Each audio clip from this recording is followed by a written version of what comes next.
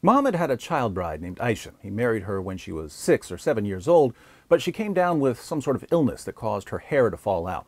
After her hair grew back, Muhammad consummated the marriage. The Prophet of Islam climbed on top of his child bride when she was nine years old. Sahih al-Bukhari, 5158.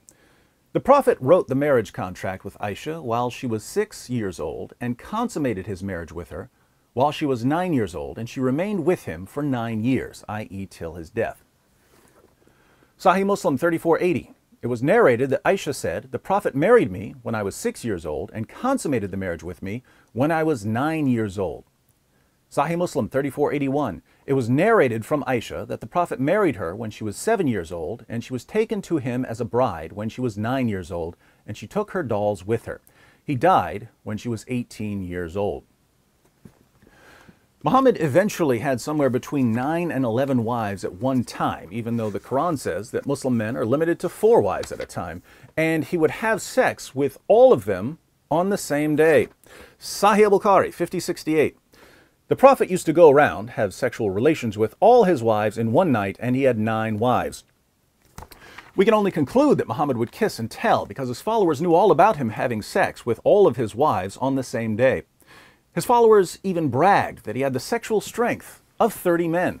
Sahih al-Bukhari, 268. Anas bin Malik said, The Prophet used to visit all his wives in a round during the day and night, and they were 11 in number. I asked Anas, Had the Prophet the strength for it? Anas replied, We used to say that the Prophet was given the strength of 30 men. And Sa'id said, on the authority of Qatada, that Anas had told him about nine wives only, not 11. Porn stars ain't got nothing on the Prophet of Islam. Muhammad's reputation spread until people didn't even want him marrying their daughters because they thought of him as a womanizer. A woman named Layla once offered herself to Muhammad as a wife, and Muhammad accepted her proposal.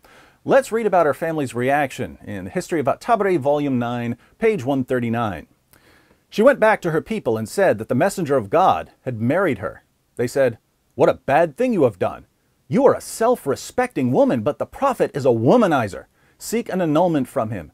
She went back to the prophet and asked him to revoke the marriage, and he complied with her request. So Muhammad was known as a womanizer, but of all his wives and sex slaves, his child bride Aisha was his favorite.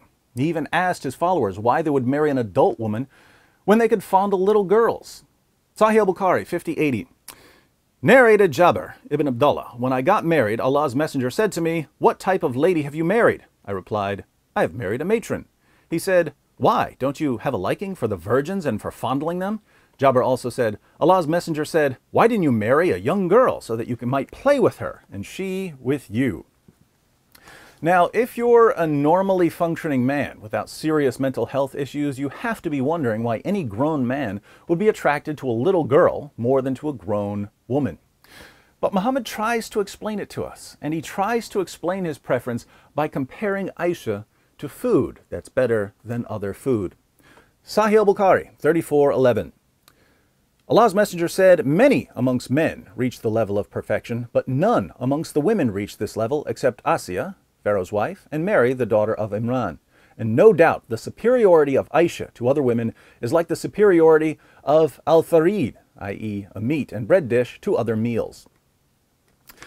A young girl, according to Muhammad, is simply a better dish than a grown woman. Some prophet you've got there, my Muslim friends.